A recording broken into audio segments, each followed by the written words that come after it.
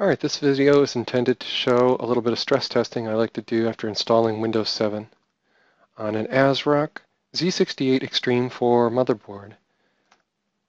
Let me show you around a little to start. So we're on Windows 7, Service Pack 2, 64-bit. Uh, you'll notice the ASRock missed those two fields being filled in, but anyhow, it's a Core 7, Core i7 2600 CPU, not the 2600K. Um, P160 BIOS from July 12th, about a week ago. Um, 16 gig of RAM. All right, so that's a look at the system. What are the tools? So the tools. Those are the two tools I'm just going to demonstrate. I just want to show you this machine is uh, very simple. Uh, some stuff that came from ASRock for device driver support uh, has been installed. Very little. Um, nothing going on in the background. I haven't even done Windows Update. This is pretty much a fresh install of Windows 7. You'll see Device Manager is uh, clean, no big issues. I do have a RAID controller in there. Uh, the focus of this test is to stress test a little bit. Um, quick and easy. I don't need to boot off a boot CD. I can um, just run this easily from Windows.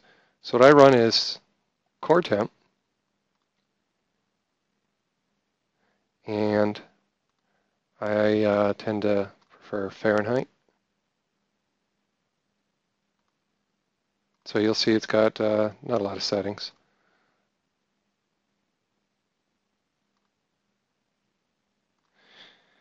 And you'll see uh, rather cool operating temperatures. This is a Corsair H60 cooling solution right now on the Core i7. So let's minimize that. All right, next, CPU burn-in. I could run that eight times, or I can just do a, a uh, script I wrote, which does it for me. So let me show you that. So we run CPU burn-in eight times. So let's fire that up. All right, next we want Task Manager so that we can point to all of those instances, right-click, and tile them. All right. Now, we set them up. Uh, yeah, command line might be make more sense, but it really doesn't take that long to set this up. I want to do the maximum abuse of my CPU possible, so I'm putting on that option. All right, so you'll see as I bring the um,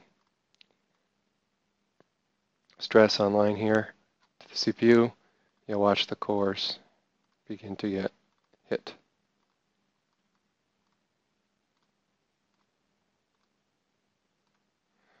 All right, so now all the CPU cores are being stressed. you see the temperature rising slightly.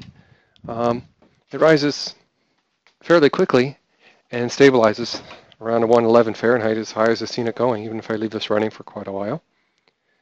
So obviously the cooling solution is working quite well on this particular system.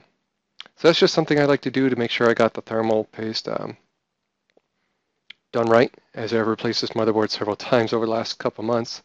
Um, yeah, after installing uh, sticking Windows on there quick, um, you know, this helps me reassure myself I've got it right. Uh, I realize there are many other tools. Um, for instance, I'm using CoreTemp 0.99, um, using CPU burn-in 101.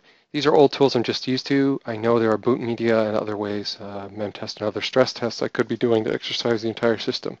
This is just something I do again with a focus on maximum heat generation. Uh, I found on laptops with uh, issues, this will really bring them down in a hurry. That's kind of when I get used to doing this on newer systems to make sure they're okay or recently repaired systems. Hopefully you found this video of use. Thank you for watching.